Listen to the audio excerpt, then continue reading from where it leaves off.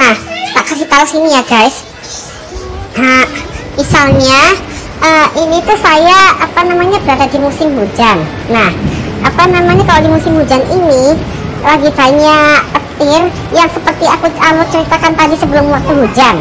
Nah, saat ini sementara tuh memang saya sering pakai headset akibat seperti di gambar ini akibat uh, saya mendengar apa pun yang berisik ya pun ini ada suara duduk ya kenceng banget dari luar. Waduh apa namanya? Sorry ya guys makanya ini keras banget. Tapi karena sengaja volumenya saya kecilkan dan ini saya keraskan ya. Teman-teman jangan apa ngaku aku dulu ya. Nah ini volume sudah saya keraskan. Apa namanya supaya tidak terdengar. Tapi ini seharusnya saya tuh tidak ingin memegang pipinya terus. Dan karena harus memegang headsetnya supaya headset itu terdengar keras dan rapat ya. Soalnya sorry kalau dikira suara headset ini tidak keras makanya sudah saya gedein volumenya. Terima kasih.